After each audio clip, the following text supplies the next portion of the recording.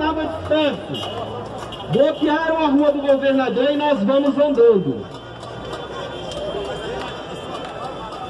Atenção para quem estava disperso. Bloquearam a rua do governador, mas nós vamos andando, porque eles não podem impedir que a gente entre andando pela rua. É nosso direito constitucional. Então a gente vai andando até lá, mas de máscara e com distanciamento. Ninguém aglomera, ninguém dá braço nem nada, fica com os braços abertos, distância de dois metros um dos outros. E a gente vai retornar para cá. E daqui a gente vai pegar os carros e vai lá para a CNN na esplanada.